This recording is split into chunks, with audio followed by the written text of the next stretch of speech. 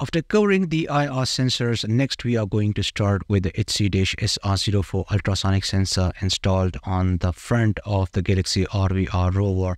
I won't talk about its technical specifications and how it works because I have already used it in several videos. You can find links to the related videos in the description. Anyway, it's connected to the Arduino pin 10. So let's first read this ultrasonic sensor and afterwards we will do some interesting projects. First, define a pin for the ultrasonic sensor as I said the ultrasonic sensor is connected to the Arduino pin 10.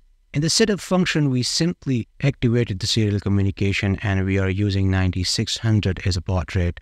In the loop function that runs repeatedly, we start off by adding a delay of 4 milliseconds, otherwise the reading may be zero. We set the ultrasonic pin to output to send a signal, then we clear the trigger pin. Then we trigger the ultrasonic sensor by sending a high pulse for 10 microseconds. Next we set the trigger pin back to low. Then we set it to input to read the signal. The pulse in returns the duration of the pulse on the pin.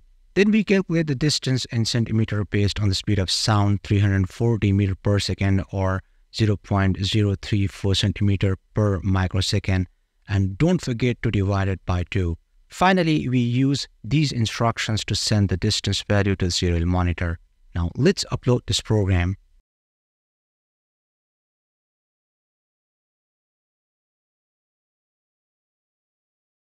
Now let's turn this into an obstacle avoidance robot using the ultrasonic sensor. Again, we are using the same library for the motors, the same pins definitions for the ultrasonic sensor and motor pins.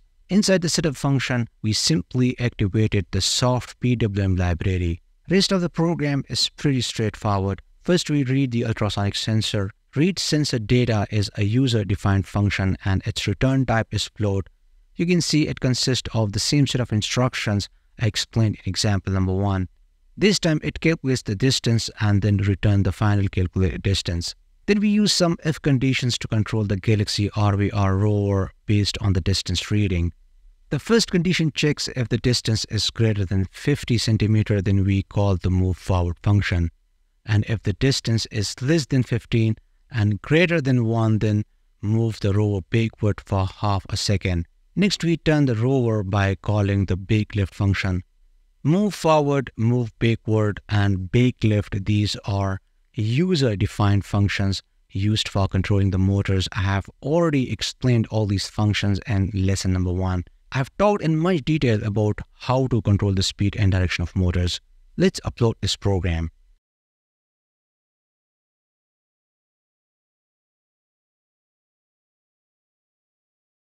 Right now, it can only sense objects that are in front of the ultrasonic sensor. It totally ignores objects on the left and right sides. So next we are going to use the ultrasonic sensor and IR sensor to make the smartest obstacle avoidance system. So let's do it. This program is just a combination of two projects, the ultrasonic avoidance that you just saw and the IR avoidance system that I explained in lesson number two. You can clearly see the same set of instructions I use, so I think there is no need for me to explain anything. So let's go ahead and upload this program.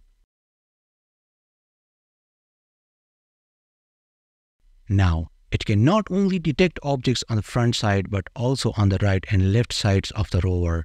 Now, let's make the Galaxy RVR rover to follow an object. You can see this is the same exact program with some minor changes. This time, instead of avoiding any object, it follows that object. Let's upload this program.